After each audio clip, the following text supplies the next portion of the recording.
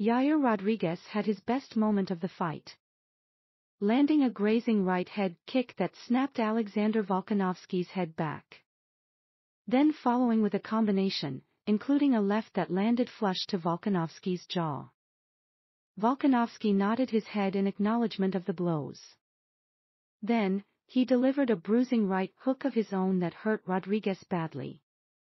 Volkanovski went in for the takedown. And fired off a barrage of big punches from top position en route to a TKO at 419 of the third.